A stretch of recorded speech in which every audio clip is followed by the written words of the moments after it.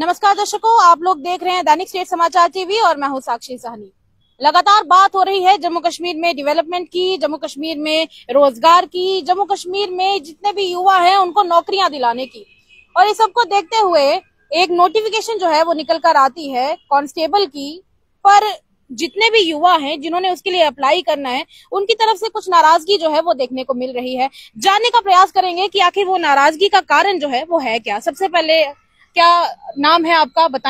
अरुण पाल सिंह मेरा नाम है। मैं नेशनल कॉन्फ्रेंस स्टूडेंट यूनियन का वर्किंग प्रेसिडेंट हूँ। अरुण जी क्या समस्या जो है वो यूथ को देखने को मिल रही है इतने दिनों से लगातार? क्योंकि एक तरफ़ बात होती है कि जॉब्स नहीं है जॉब्स नहीं है। अब जब जॉब्स मिल रही हैं तो फिर कोई नाराज़गी है? क्या मामला है? मामला ये है कि जो हमारी जॉब्स निकालने वाली एजेंसियाँ हैं जो जिनके थ्रू जॉब्स की एडवर्टाइजमेंट्स आती हैं वो कहीं ना कहीं लोगों को यूथ को मतलब जाने में हमेशा गलती कर रहे हैं कहीं ना कहीं। वो चाहते उनको समझ नहीं आ रही यूथ क्या चाह रही है। उनका मतलब अपनी जो पॉलिसीज़ है उनके हिसाब से सब चल रहा है। तो इसके लिए मैं आपको ये कहना चाहूँगा कि जो हमारा मेन मुद्दा है आज वो कांस्टेबल का एज रिलैक्सेशन का है। जो नई रिक्रूटमेंट्स निकली हैं 2017 के बाद सात साल के बाद आज निकली है और उनको इस तरीके से निकाला गया जैसे 2000 हम्म, तब कोई तेईस साल का बच्चा था आज वो तेईस तीस साल का है। तब कोई इक्कीस साल का होगा तो वो आज ट्वेंटी एट का है या ट्वेंटी नाइन का है। तो मतलब ये कि कोई सात साल का डिफरेंस हुआ है? हाँ सात साल का डिफरेंस हुआ है जहाँ हमारी मोदी सरकार ने कहा है हर साल दो करोड़ नौकरियाँ मिली जाएँगी। तो यहाँ पर आप देख लीजिए चार हज़ार दो पोस्टें निकली हैं और वो भी आज आप लगा लो कोई सात साल के बाद निकली हुई हैं। और उसमें एज गैप इतना कम है, आप कोई भी रिक्रूटमेंट उठा के देख लीजिए पीएसआई का हुआ 2021 में। तो वो जाके कंप्लीट हुआ 2024 में। मतलब एक टाइम फ्रेम रख लीजिए ना, जब 2021 से 24 के बीच जो बच्चे हैं, उनका भी तो ओवर एज का आना ही आना है, वो ऑटोमेटिकली हो जाएगा। जी तो आपको क्या लगता है जहाँ पर लगातार बात हो रही थी कि एज रिलैक्सेशन का भी ध्यान रखा जाएगा हर चीज़ का ध्यान रखा जाएगा क्या आपको लगता है कि ये चीज़ जानबूझ के की गई है या फिर इसके पीछे कोई इस तरह का एजेंडा जो है वो नहीं है?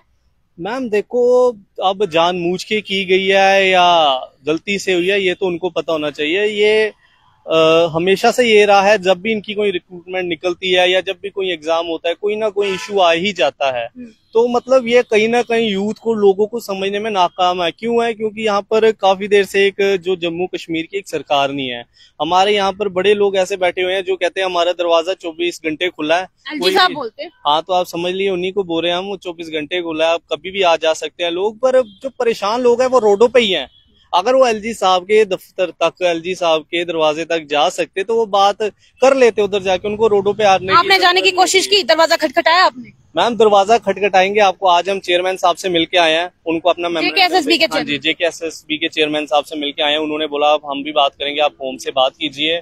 तो वहीं से हमारा काम है बस एडवर्टाइजमेंट और जॉब्स निकालना एग्ज़ाम कंडक्ट करना जो पॉलिसीज़ होती है वो पीछे से बन के आती हैं तो हमें उनसे बात मेरा चेयरमैन साहब से भी ये है कि उनसे भी उधर बात की अगर वो भी अच्छे से समझ पाए क्योंकि हमारे अलावा और भी काफ़ी बच्चे उनके पास गए होंगे। तो अब हमारा जो आगे का प्रोसीजर रहेगा हम चीफ सेक्रेटरी साहब से मिलेंगे गवर्नर साहब से मिलेंगे जो हमारे एमपीज यहाँ के चुने गए हैं पर वो हमें यहाँ पर दिख नहीं रहे हैं। आप अभी एमपीज की आपने बात की अभी लोकसभा पोल्स हुए हैं लोकसभा इलेक्शन हुए हैं तो जो एमपी सेलेक्ट होके आए हैं आपने भी बोला की उनकी तरफ़ से कोई हेल्प नहीं मिली है। आपने उनका भी दरवाज़ा खटखटाने का प्रयास किया?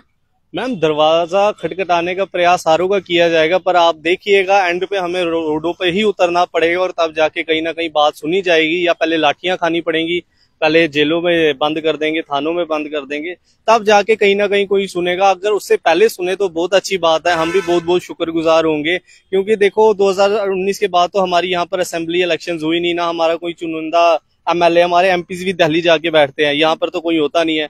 अब यहाँ पर वो वोट मांगने आए तो उन्होंने बोला आपने मोदी साहब के नाम पे वोट देने हमारे नाम पे हम हमने सिर्फ़ उनके सिपाही हैं।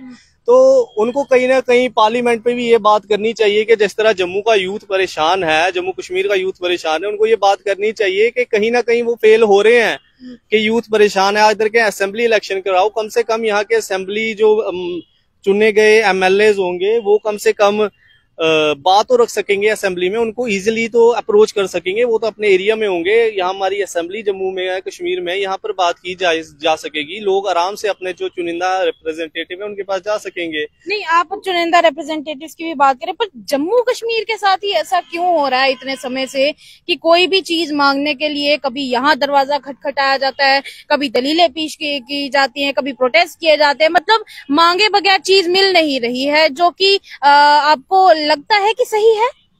मैम, देखो, अब मेरे को समझ नहीं आ रहा ये इनको गलती कहाँ पर हो रही है। ये कह रहे हैं कि जम्मू कश्मीर 370 के बाद बहुत खुशहाल है। मतलब एक तरीके से 300 अगर भाजपा का ये कहना था कि हम जम्मू कश्मीर को खुशहाल बनाया है, वहाँ पर अब कोई इशू नहीं हो रहा है तो उसमें आप देखिए कहीं ना कहीं भाजपा अपना एमपी कैंडिडेट खड़ा करना उनके लिए मुश्किल हो गया कश्मीर में। तो ये चीज़ें देखो कहीं ना कहीं हमें इनको समझना चाहिए कि यूथ क्या चाहती है। आजकल क्या है मैम धर्म के नाम पे बांटा जा रहा है यूथ को। धर्म के नाम पे बांटा जा रहा है। धर्म के नाम पे बांटा जा रहा है। मेरे को नहीं कहना चाहिए हर कोई मंदिर मस्जिद गुरुद्वारे जाता है हर कोई अपना अपना धर्म पूछता है अच्छी बात है। बट जो मुद्दे हैं मुद्दों को नहीं भटकाया जाना चाहिए इन चीज़ों पे। आप देखिए ना जब भी ऐसे मुद्दे भटकाए जाएँगे तो आज आप हमारे पार्लियामेंट की बात कर लीजिए अभी थोड़ी देर ही हुआ स्टार्ट किए वहाँ पर भी आ, ये मुद्दे उठ के आ जाते हैं आगे। आपने अभी आज की बात एक जी। ये मुद्दे जो मतलब नौकरियों की बात है वो हमें कहीं ना कहीं उधर भी देखने को नहीं मिल जा- मिली जा रही। अपने अपने चंद्रशेखर एक एमपी है वहाँ के उन्होंने भी कल हमने उनका सुना। काफ़ी अच्छा उन्होंने बोला कि मेंबर ऑफ़ पार्ल ये पार्लियामेंट में मुझे धर्म के बारे में बड़ा कुछ जानने में मिल रहा है जो मुद्दे हैं मुद्दे भटक मुद्दे कहीं मिल नहीं रहे जिसपे लोग परेशान है। देखिए आप आज की बात कर रहे हैं अरुण तो क्या लगता है आपको कि जिस प्रकार आज ये रिक्रूटमेंट्स को लेके इतनी प्रॉब्लम हो रही है जॉब्स को लेके इतनी प्रॉब्लम हो रही है क्या आपको लगता है कि आने वाले कल में जम्मू कश्मीर का जो युवा है वो सड़कों पे भी रहने लायक नहीं रह पाएगा? मैम, ये तो सीधी सीधी बात है ना, आप नौकरियाँ देखिए, किस हिसाब से टुकड़े टुकड़े करके मिल रही है। 2021 में सब इंस्पेक्टर के जो आए 2024 में पूरे हुए जाके इनका। कोई टाइम फ्रेम नहीं, कोई कुछ नहीं। अब जो 2021 में जिनकी एज थी, वो तो आज कितने, जो तीन साल के गैप में कितने बच्चे ओवर एज हो गए होंगे।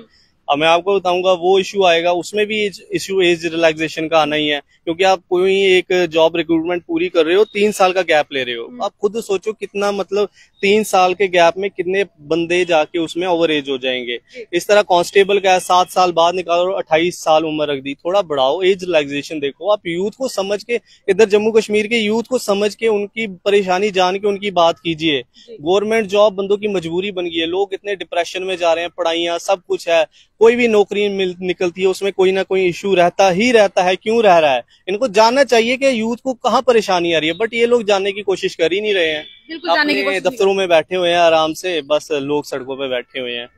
तो मुझे ये बताएँ कि जिस प्रकार आपने आज मीटिंग की है चेयरमैन जी के पास जी, जी, जी। तो आपको लगता है कि कोई उसका सोल्यूशन निकल के आएगा? और अगर नहीं निकल के आएगा तो आपकी तरफ़ से क्या स्टेप्स उठाए जाएँगे? मैम देखो चेयरमैन साहब ने भी हमें बोल दिया कि होम के अंडर है। हम तो हमारी कोशिश यही रहेगी, हम बहुत खुश होंगे कि हमें बिना किसी एग्रेशन के, बिना किसी रोड बंद के या प्रोटेस्ट के ये चीज़ सुनने को मिल जाए तो बहुत अच्छी बात होगी।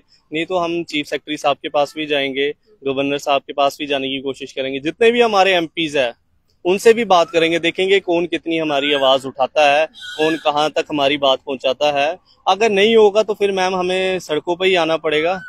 तो हम तैयार है, फिर डंडे भी बरसेंगे, डंडे भी खा लेंगे, जेलों में बंद करेंगे, जेलों में भी रह लेंगे, वो कोई इशू नहीं है, हम जम्मू कश्मीर के यूथ के लिए हमेशा खड़े हैं और खड़े रहेंगे। हम जम्मू कश्मीर के यूथ के लिए हमेशा खड़े थे, हैं और रहेंगे। ये थे मेरे साथ अरुण पाल सिंह, जिन्होंने साफ़ तौर पे ये कहा है कि इनके द्वारा आज एक मीटिंग जो है, वो जेके एसएसबी के चेयरमैन के पास की गई है और उस मीटिंग में इन्होंने उस एज रिलैक्सेशन का जो इशू है, उसके बारे में बातचीत की है। अब देखना ये है कि क्या ये जो एज रिलैक्सेशन का इशू है, ये सॉर्ट आउट होता है या नहीं होता है? दूसरा ये, अगर ये एज रिलैक्सेशन का इशू जो है, वो अगर हल भी हो जाता है, ये मामला हल भी अगर हो जाता है तो फिर आगे क्या एज इश्यू एज का जो रिलैक्सेशन है, वो किस नंबर पे या किस आंकड़े पे देखने को मिलेगा? फ़िलहाल आप अपनी राय कमेंट बॉक्स में ज़रूर व्यक्त कीजिए। क्या आप भी JK S S B aspirant है? क्या आपको भी एज रिलैक्सेशन चाहिए? और अगर चाहिए तो इस वीडियो को ज़्यादा से ज़्यादा लाइक एंड शेयर कीजिए। तब तक के लिए अपने कमेंट्स जो है, वो ज़रूर व्यक्त कीजिएगा। कमेंट्स में आपके जब विचार आते हैं तो हमें भी ऐसा लगता है कि हमारे साथ हमारी ऑडियंस जो है, वो जुड़ी हुई है। तब तक के लिए मुझे मेरे सहयोगी को दीजिएगा इजाज़त। तब तक के लिए मेरे और मेरे सहयोगी अरुण को इजाज़त दीजिएगा। तब तक के लिए नमस्कार।